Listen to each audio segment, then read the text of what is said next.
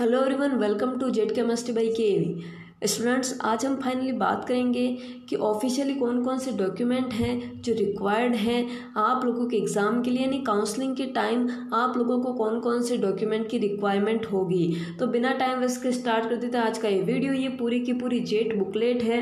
Officially आप लोग खुद भी डाउनलोड कर सकते हैं जेट की ऑफिशियल वेबसाइट पे जाके और पूरा का पूरा इसे पढ़ सकते हैं। तो देखिए, मैं आप लोगों को बता दूँ फाइनली कौन कौन से जो डॉक्यूमेंट है वो रिक्वायर्ड है।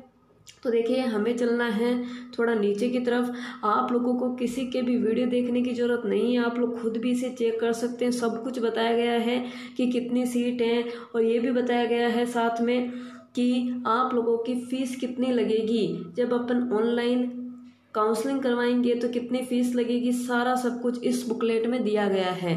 तो देखिए, सबसे पहले हम बात करते हैं कि जब हमें रिपोर्टिंग करवानी होगी तो कौन कौन से हमें डॉक्यूमेंट चाहिए होंगे। अगर एक भी डॉक्यूमेंट मिस होता है तो वहाँ से आप लोग आउट हो जाते हैं या आप लोग अच्छे से जानते हैं। तो हम जब हम लोग यूट्यूबर जब बिना किसी फैक्ट की वीडियो बनाते हैं तो हम लोग यूँ ही बोल देते हैं कि ये ये ये डॉक्यूमेंट चाहिए। लेकिन आज हम फाइनली फैक्ट पे बात कर रहे हैं और देख रहे हैं कि ओनली यही डॉक्यूमेंट चाहिए, क्योंकि जेट बुकलेट में लिखा हुआ है और ये एक ऑफिशियल साइट है, आप लोग खुद जानते हैं। तो सबसे पहले हम देखते हैं अभ्यर्थी जिन्होंने आवंटन स्वीकार किया और ऑनलाइन शुल्क जमाया करा, जमा कराया को सभी मूल दस्तावेज़ जैसे दसवीं और बारहवीं अंक तालिका, यानी आप लोगों को टेंथ और ट्वेल्थ की मार्कशीट अपने साथ रखनी है, साथ ही प्रमाण पत्र अब ये प्रमाण पत्र कौन सा है? आप लोग गौर करिएगा। आप लोगों ने जब ट्वेल्थ का एग्ज़ाम क्लियर किया था, तब ट्वेल्थ की मार्कशीट के साथ एक सर्टिफिकेट आया था, उसकी बात ये कर रहे हैं तो वो सर्टिफिकेट संभाल के रख लेना है।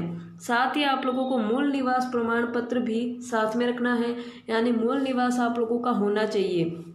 फिर हम बात करते हैं तो आरक्षण प्रमाण पत्र अगर आप ओबीसी के हैं तो आप लोगों को अपनी कैटेगरी का आरक्षण प्रमाण पत्र साथ रखना है। एस सी के हैं तो आप लोगों को आरक्षण प्रमाण पत्र साथ रखना है।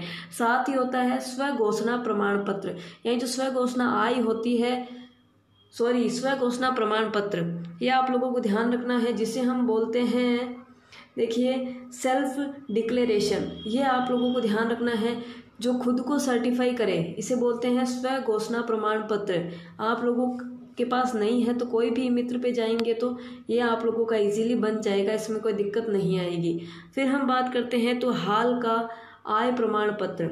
यानी आप लोगों की इनकम कितनी है, आय कितनी है, ये आप लोगों को ध्यान रखना है और इसके बेस्ड पे एक प्रमाण पत्र आता है। आय का प्रमाण पत्र वो आप लोगों को बनवाना पड़ेगा। अगर नहीं है तो आप लोग बनवा सकते हैं। साथ ही दो पासपोर्ट आकार के फ़ोटो फ़ोटो तो सभी के पास होती है। शुल्क जमा रसीद यानी जो आप लोगों ने फ़ीस जमा कराई है उस फ़ीस की रसीद होनी चाहिए। उनकी स्वयं द्वारा सत्यापित प्रतियों के साथ नियत तिथि पर संस्थान में रिपोर्ट कराना होगा।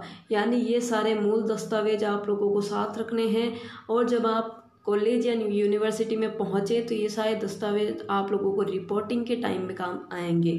अगर वीडियो अच्छा लगे तो लाइक एंड शेयर ज़रूर करिएगा और इस बुकलेट को पढ़ लीजिएगा कि आप लोगों की फ़ीस कितनी लगने वाली है, किस प्रकार कितनी सीटें हैं, सब कुछ इसमें बताया गया है। काउंसलिंग प्रोसेस क्या है, देखिए पूरा का पूरा इस बुकलेट में बताया गया है कि किस प्रकार से क्या क्या काउंसलिंग प्रोसेस होने वाला है। Thank you for watch